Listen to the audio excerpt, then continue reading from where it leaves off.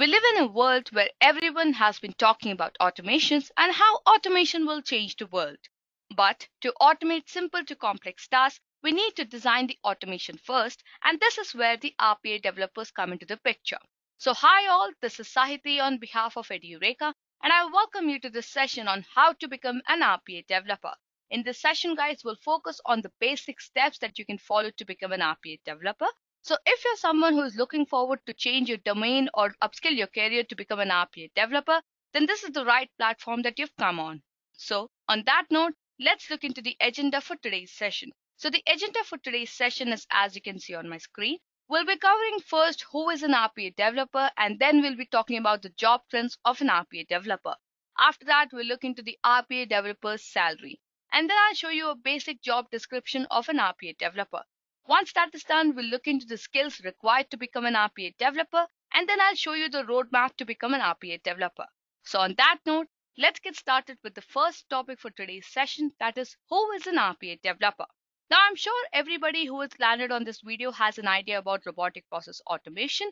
But for those who do not have an idea about robotic process automation, then let me tell you that RPA or robotic process automation is a technology wherein you have to automate the manual tasks using the RPA tools present in the market. Now, this task could either be a simple task or a complex task. So all the business processes are simple to complex tasks which you automate using a simple process and an RPA tool is basically robotic process automation. So RPA developers are those designers who design these automation tasks with hands-on experience in the top tools present in the market. Now, when I say top tools present in the market, there are mainly three tools which are very popular in today's market. That is UiPath, Blue Prism, and Automation Anywhere. Now, you as an RPA developer or you as a person who started learning RPA can explore any of these tools and get a hands-on experience in these tools. Apart from this, the RPA developers also work for startups to hypergrowth companies and are responsible for designing the automation based on the client's requirement. Now, once the automation is designed and is ready to be rolled out into the production, an RPA developer also needs to make sure that the designed automation is achieving the desired results. In the case where the designed automation fails to achieve the desired goals, the automation goes back into the RPA lifecycle and then again it is built. So if I have to summarize who is an RPA developer for you guys, then RPA developer is someone who has good hands-on experience in the top RPA tools and understands how to create or design an automation. Now, the automation design could be based on the client's requirements or maybe based on the company's requirement itself. And it could be either a simple automation or a complex automation. Apart from that, an RPA developer must also have a good understanding about the different stages of RPA lifecycle and in case if there is any issue found in the RPA lifecycle of a bot, then the RPA developer must be able to understand or must be able to debug the issue very easily. So that was about who is an RPA developer, guys. So if you're from a quality analyst background or a testing background or a software engineer or an application developer, then RPA developer is definitely a career role which you can go for, right? So on that note, let me just take you through the job trends of an RPA developer. So as you can see on my screen, guys, the number of jobs of RPA developers in United Kingdom is increasing on a large scale. So with that, we can definitely determine that, you know, RPA developers career opportunities will only shoot through the roof where both startups and well-established companies such as IBM, Infosys, KPMG are offering lucrative salaries to RPA developers. Not only this, but according to Gartner, it is estimated that around a total of 2.4 billion US dollars is estimated to be spent in the field of RPA by 2022 and also 85% of large organizations will have deployed RPA in some or the other forms. So it's an obvious fact that you know all the industries are looking for professionals who can easily adapt the RPA technology as quickly as possible and automate the manual tasks. So on that note, we can understand that you know the RPA jobs are going to definitely increase and then all the simple to complex tasks will be automated and companies nowadays are looking for professionals who understand how to design an automation and speed up their processes. So now that you know the job vacancies are available for an RPA developer, let me take you to the salary trends of an RPA developer so that you can understand what will be your pay if you shift your career to an RPA developer. So let's start with the next topic for today's session that is the RPA developer's salary. Now, before I talk about the salary of an RPA developer, Let me tell you that the salary of an RPA developer can vary on various parameters, but I will discuss the salary based on few parameters only in this session. But yes, if you want a detailed understanding about the various of the parameters on how the salary differs for an RPA developer, then you can refer to my session on the RPA developer salary. But for this session, I'm just going to talk about a single parameter that is the job profile. So based on the job profiles related to RPA developers, I'll tell you the basic or the medium salary expected. So according to Indeed.com, on an average, an RPA developer can expect a salary of 5,53,000 in India and $92,000 in USA. Apart from being an RPA developer, as I was mentioning, there are various also other positions. So let's look into the salary of various other job roles related to the field of robotic process automation or an RPA developer. So let's talk about India first. So according to Indeed.com, the following are the job roles as you can see on my screen and their expected salaries. So an RPA process analyst can expect around 5 lakhs 48,000 per annum. An automation engineer or an automation developer can expect a salary of 5 lakhs 90,000. A senior RPA developer can expect around 7 lakhs 69,000 and an RPA solutions architect can expect around 10 lakhs 11,000. Finally, an RPA lead can expect around 11 lakhs 26,000. So that's a huge amount of money, guys. Similarly, if you look into the same roles in USA, then an RPA process analyst can expect around $72,000. An automation engineer or an automation developer can expect around $90,000. A senior RPA developer can expect around $98,000 and an RPA solutions architect can expect around 1 lakh US dollars and an RPA lead can expect around 1 lakh $23,000. So again guys, there's a huge amount of money for any career role. So I would say if you're looking forward to become an RPA developer, then this is the right time that you start your career in RPA.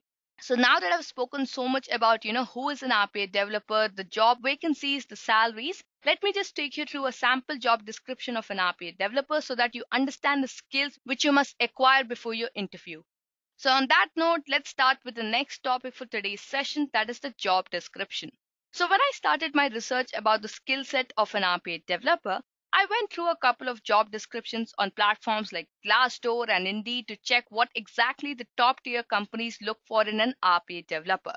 So, this is the sample description that I've come up with for an RPA developer, which comprises of almost all the skills that are required by all the top tier companies, right? So, if you observe in the sample job description, it clearly says that you know you need top-notch skills in .NET, C and web scripting. You need hands-on experience in the top tools. You need solid understanding of good documentational skills. You must have the ability to conceptualize a business process from a workflow diagram to an automated solution. You must have aggressive problem diagnosis and creative problem solving skills. You should have basic knowledge of SQL databases. Apart from that, you should also have strong code review skills and must have exposure to test driven developments. You should be proficient in troubleshooting and handling security measures and system analysis. You should also have excellent communication and analytic skills with the ability to present technical details to the clients in technical and non-technical backgrounds. And you should also have a good exposure to design and define enterprise level application architecture and evaluate the designed automation. So with this job description, I hope you've got a basic understanding about what exactly companies expect from an RPA developer and what skills you require to become an RPA developer. To make it easier for you, I've again listed down the skills required for an RPA developer. So let's move forward with the next topic for today's session that is the skills required for an RPA developer. So as you might have seen in the job description, an RPA developer must be able to understand the client's requirements and design the automations based on those requirements and the IT standards. So some of the most common skills required for an RPA developer are as you can see on my screen. You need hands-on experience in the top RPA tools like UiPath, Blue Prism, and Automation Anywhere. When I say hands-on experience, you must work on these tools. You must understand how to design an automation, how to understand the client's requirements in, from a documentation, build it to a flowchart diagram, and finally design the automation. You should have strong problem and analytical skills because you have to understand a simple to a complex problem. And trust me, guys, when I say an RPA solution, it's just not an if-else loop. It can become very complex based on the client's requirements and how you design the automation. Apart from that, you need constant communication with other business partners to develop and deploy their ideas. Now, this is required to ensure that there's a clear establishment of what can be created with what time frame and what are the requirements. So when you're an RPA developer, you work with a team of other developers and you must have an idea about what is the client requirement, what is the time frame given, and what automation can be designed based on the client's requirement and the time frame and how it can be delivered. Not only this, but you need good knowledge of RPA life cycles and how to produce the automation. So I'm not going to go into the depth of this topic because this is quite a complex skill that is required for an RPA developer. So if you want to know the different stages of an RPA life cycle, then you can refer to my session on RPA life cycle. Apart from that, an RPA developer also needs an exposure to SQL databases and must have an understanding about how to design technical specification documents for the RPA projects. So for any project that you work on, you need a proper technical specification document because you have to put in all the factors and the functionalities for your project like the basic client requirements and then what you require for the project what is the time frame given the other technical specification like you know the features of the rpa project what tool has been used how many bots are deployed in production where will it be deployed how will it be deployed and so on now after the skill you also need an experience with analysis design and implementation of the process because as an RPA developer, you must have the skill to understand the business technical and non-technical requirements and the backgrounds and deliver the automation solution. You should also be proficient in coding skills in .NET, C Hash, and Visual Basic Scripting. Well, I would say this is not mandate because you know RPA tools offer drag and drop functionalities, and you do not need any programming knowledge to just design an automation solution. But if you work at a senior level for an RPA developer, then you must have a basic understanding about these coding languages because then you can understand how these tools work at a backend. So then you can understand how the automated scripts are created at the backend because in front end you just have to use the drag and drop functionalities provided by these tools and then you can design the automation. So I would say it's not mandate that you know you have good programming knowledge about .NET, C Hash and VB scripting, but if you do have a programming knowledge about these, then that would definitely make you stand out in the crowd. Now, this was all about the basic skills of an RPA developer. But if you're at a senior level or let's say at the lead level, then I would say getting certified by ITIL, TOGAF, COBIT, PMP, Prince2, Lean Six Sigma will definitely add on to your team management. So if you're already an RPA developer, then you can just add on to your skills by getting yourself certified from any of these organizations. But if you're just getting started with RPA and then if you want to become an RPA developer, then the skills that I've just mentioned before this point are definitely required to become an RPA developer. So now that I've told you so much about, you know, who is an RPA developer, the job vacancies, salaries, and the skills required, let me take you through a roadmap on how to become an RPA developer. Now, as you might have understood by now, an RPA developer's journey starts with the very first step of understanding the client's requirements. So you have to learn to analyze the business processes and design the automations around it by understanding the client's requirement. And once you understand the client's requirement and come up with the technical specifications document, and you have an idea about, you know, what are the requirements, what is expected, what is the time frame, and what can be delivered, then comes the next learning phase where you have to develop an understanding about which process can be automated and which cannot be. Now, let me tell you over here that, you know, based on all the client's requirements, all the tasks cannot be automated. Only few of the processes can be automated. So you as an RPA developer or you as a learner who wants to become an RPA developer must understand about which process can be automated and which cannot be. Once you have a clear understanding about which process cannot be automated and which can be, then the next step to learn is to get an hands-on experience in the top available tools present in the market today. Right? So when i say get hands-on experience in the top tools it's not necessary that you know you explore each and every tool it's completely based on your perspective and your comfort zone and also which tool will benefit you the most so i would say when you're starting to learn a tool figure out which tool will work out the best for you and then get a hands-on experience in that after that you have to start implementing the automation solutions which you might have designed right? So whatever that you've designed and mentioned in the process document has to come on the tool and then you have to start designing the automation solution. And once you design the automation solution, you have to test your automations. So after your automations are successfully working, you can deploy it onto the production. But over here, I would like to tell you one thing. Do not just stick to one automation at a big scale. Start with small, small automations, or I would say start with small tasks which can be automated and then gradually, once you have an idea about the various functionalities provided by the tool that you're working on and the processes that you can build on, then you can go forward and build large automations. So, on that note, guys, we come to an end to this particular session.